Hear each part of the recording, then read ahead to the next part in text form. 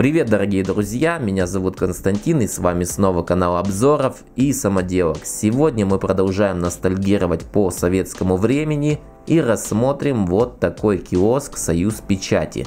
Данные сооружения были популярны где-то в 80-х, хотя я могу ошибаться, поэтому если это так, обязательно напишите в комментариях.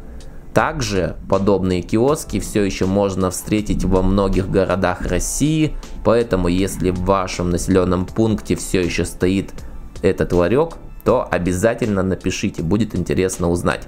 К примеру, у нас подобные ларьки все еще встречаются, хотя в единичных экземплярах. Давайте рассмотрим.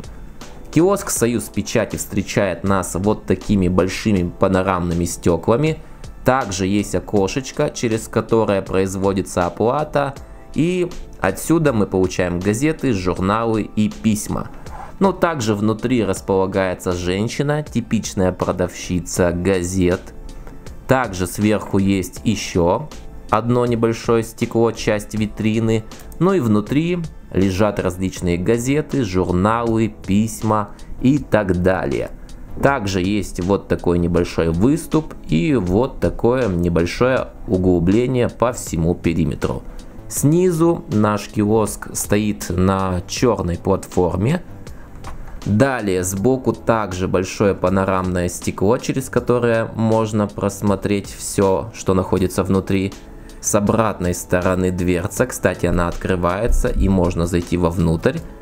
И с этой стороны тоже большое стекло.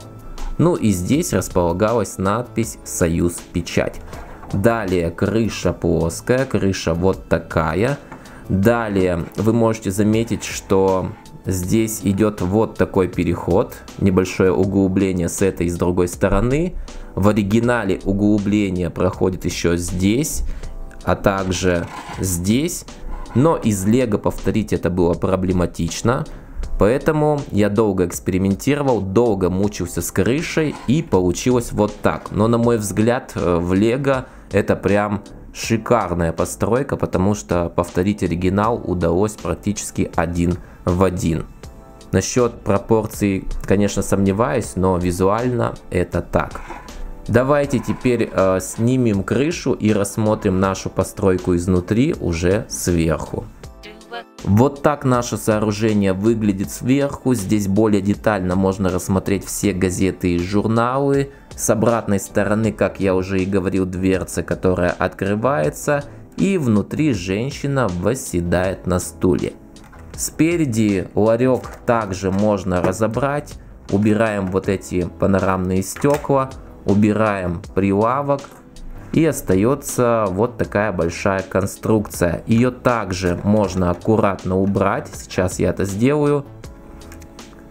К сожалению, пару деталей отвалилось, но сейчас мы вернем их на место. А, вот такой большой стол, на котором непосредственно вся корреспонденция. Ну и наша знакомая всем продавщица.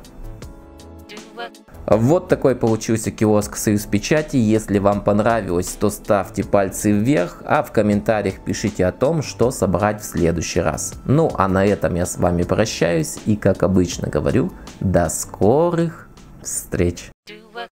Стой! Хочешь знать, когда выйдет следующее видео? Тогда не забудь включить колокольчик. Если, конечно, он у тебя еще не включен. А также подписывайся на нашу официальную группу ВКонтакте. Ссылочка в описании.